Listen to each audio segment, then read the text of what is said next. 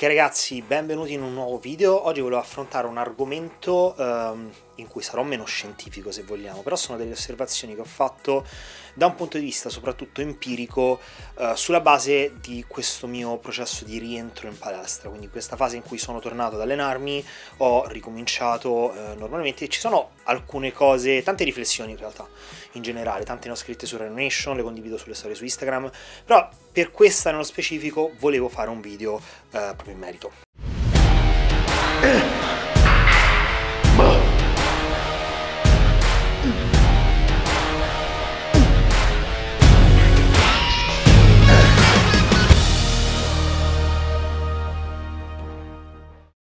Allora, la riflessione di base è il quantitativo calorico che io adesso in questo momento sto gestendo e per gestendo intendo che se salissi in maniera diciamo importante da qui inizierei ad ingrassare, quindi non riesco a gestire più calorie di queste che sto gestendo adesso e eh, con le calorie che ho attualmente eh, riesco a mantenere il peso, riesco ad essere stabile, riprendere volumi eccetera eccetera. E questo quantitativo si aggira poco sopra le 3000 calorie, ok? Come voi sapete se mi seguite, in questa fase di bulk sono arrivato a superare 5.500, stare stabile verso le 6.000 calorie, quindi ho fatto da, dopo la gara, sono salito eh, da 3.000, ho continuato ad aumentare gradualmente fino a quasi 6.000 calorie, sono stato stabile più o meno là, poi ho fatto un mini cut sulle 4000 calorie in cui ho perso un totale di 4 kg durante questo mini cut, sempre rimanendo più o meno a 4000 calorie. Sapete che non conto i macros in maniera maniacale, quindi anche le calorie sono logicamente stimate, possono essere 4100, eh, 4200, non lo so, qualcosa del genere. Comunque da un conto rapido con i programmi e le applicazioni uscivano più o meno 4000 calorie. Um, Attualmente che cosa è successo? Quando sono tornato in palestra ho ricominciato effettivamente ad allenarmi e ho ripreso tranquillamente tutti i carichi. Perché questo? Magari ci dedicherò un video, a anzi devo dedicarci logicamente un video. Um, sostanzialmente nella prima fase, nella, nella fase precedente all'operazione, quindi in vista dell'operazione, quello che ho fatto è aumentare molto la frequenza di allenamento il volume per arrivare velocemente ad un overreaching, overreaching che ho raggiunto qualche giorno prima dell'operazione, quindi ho tirato avanti un po', ho tirato botta in qualche modo, in modo che nel momento in cui mi sono operato, quelle settimane sono state delle settimane in cui effettivamente il mio corpo non ne voleva sapere di tornare in palestra, nel senso che avevo raggiunto l'overreaching, avevo bisogno di scaricare, quindi mi sono preso un tot di settimane di recupero eh, passivo, proprio in deload completo, e c'è stata una bella sovracompensazione in generale. Um, per questo diciamo che è stato funzionale questo periodo di scarico, ovviamente eh, non tutte le sei settimane di stop completo, però bene o male avendo raggiunto l'overreaching prima, ho tamponato quelli che sono i danni di uno scarico completo che si fa random di 6 settimane. Uh, quindi da questo punto di vista sono tornato in palestra che nel giro di una settimana avevo recuperato benissimo tutti i carichi, ma uh, l'unica problematica che ho avuto, che effettivamente l'avevo sottovalutata, era la gestione mentale dell'effort, dell'intensità, ossia non riuscivo a spingermi realmente come mi spingevo prima. Ora, questo è eh, logicamente scontato se vogliamo, perché è un'abilità che deve essere allenata, nel momento in cui ti fermi per sei settimane viene deallenata, quindi come i carichi, come il resto, logicamente è un qualcosa che va a perdere. Me lo aspettavo, ma non così tanto, nel senso che mi sono sentito proprio una pippa al sugo. Veramente, eh, magari con un, um, un, carico con cui avevo 15 ripetizioni sulla pressa su grandi compound, mi fermavo a 12 perché proprio psicologicamente appena rallentava la serie, la fatica, il dolore, la pressione intratoracica, tanti fattori che ti portano a soffrire, che no- normalmente mi vedevano fare un overcome, cioè che riuscivo a gestire molto bene, anzi andavo a ricercarli, eh, non riuscivo più a gestirli, anche semplicemente per un discorso di sopportazione del dolore, ok? Quindi una pippa al suo da questo punto di vista. Um, fatto sta che quelle poche ripetizioni in meno sono effettivamente l'unica grande differenza che ho visto rispetto a prima. Però non è un grande problema perché sto in una fase di recupero, quindi si tratta sempre di ottenere il massimo dal minimo, quindi non mi serve avere un'intensità altissima perché non la posso gestire in questo momento, ma logicamente devo tornare, devo riallenarmi per arrivare a gestirla e già questo stimolo che sto ottenendo è uno stimolo ipertrofico molto molto buono, quindi il corpo sta rispondendo a meraviglia. Il discorso che mi ha lasciato un po' perplesso, tra virgolette, ma mi aspettavo, è questo discorso della mole calorica che riesco a gestire, nel senso che con tutto che mi sono um, andato a depletare, ho recuperato sensibilità insulinica in questo periodo, in queste sei settimane in cui ho mangiato molto meno, con tutto che mi alleno con un filo di volume in più in realtà, perché mi alleno tra virgolette in buffer, eh, per cui il volume è leggermente più alto,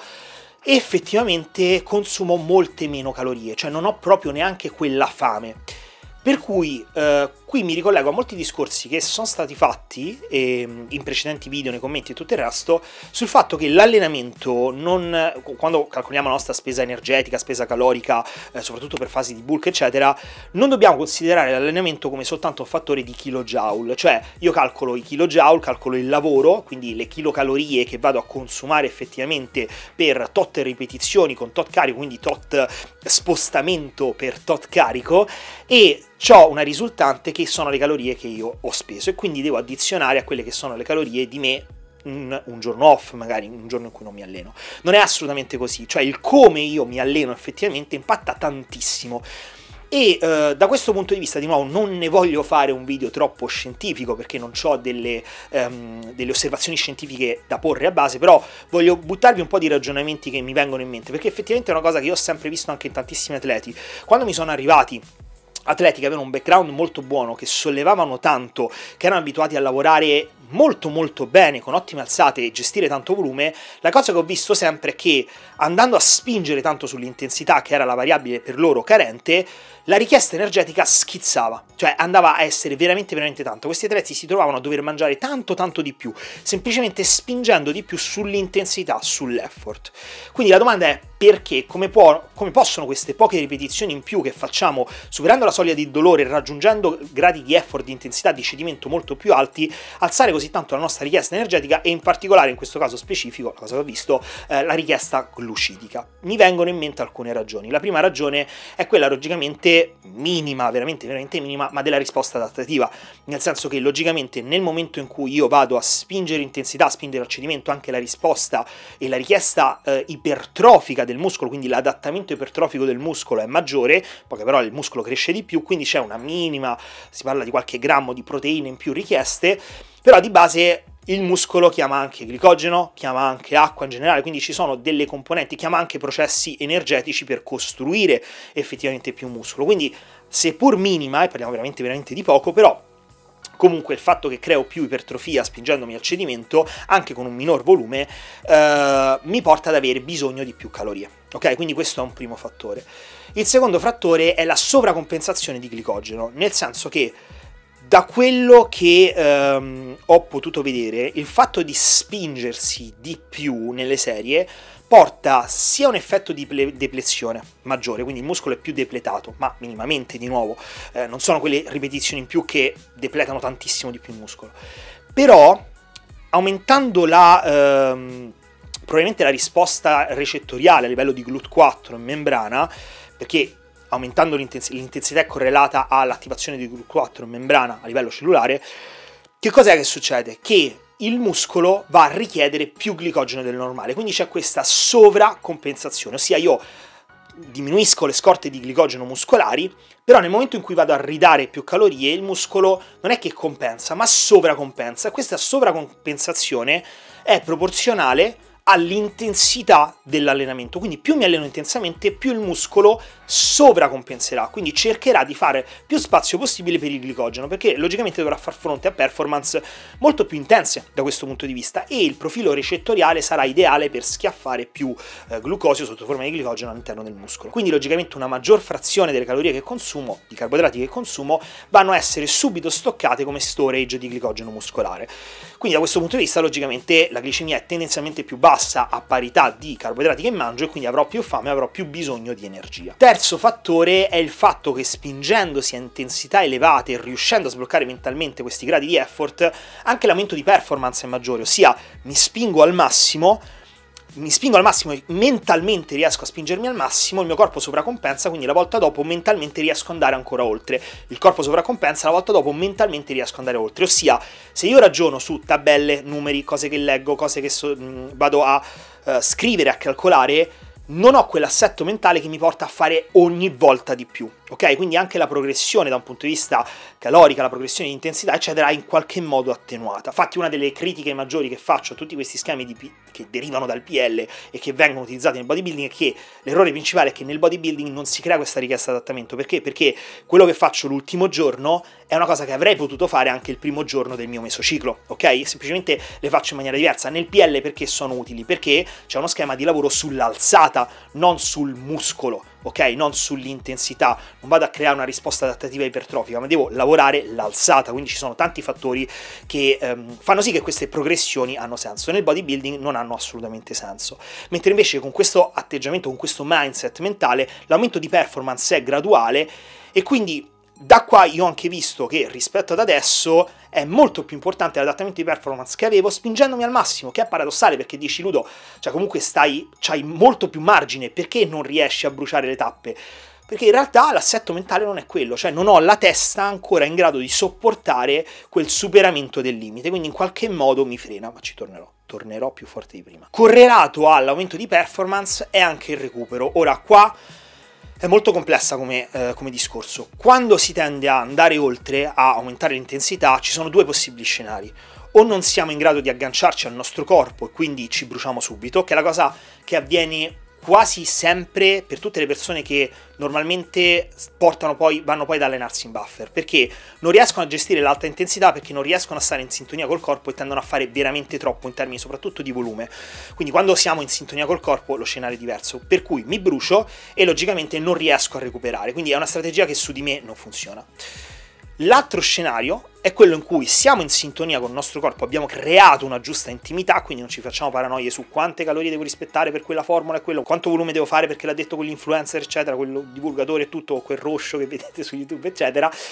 ma sento effettivamente quello di cui il mio corpo ha bisogno, vado oltre il limite, in questo caso che cosa succede? Che il recupero è massimizzato, che è una cosa che non ritrovo ad esempio adesso, che è paradossale. Io faccio un po' di meno in termini di intensità e durante la giornata il recupero non è così veloce, semplicemente perché il mio corpo da una parte non ne ha bisogno, non gli vado a dare quelle stecche neurali che mi portavano normalmente a mi alleno, mangio, metabolizzo subito molto velocemente, dormo, questa cosa non riesco più a dormire molto bene il pomeriggio, ok?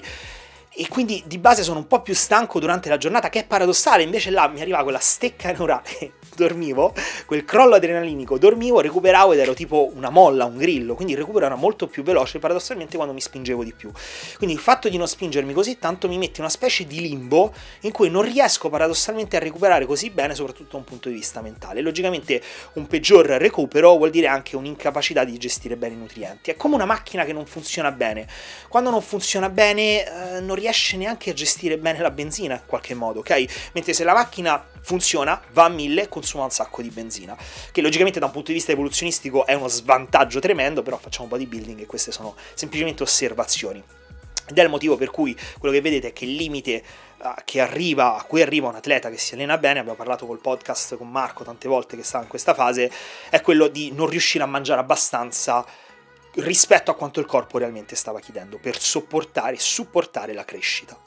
Ok, ci ho detto l'ultimo fattore, che è quello secondo me più importante, ossia l'epoch. L'epoch, il debito di ossigeno, oppure la risposta metabolica pura. Ora,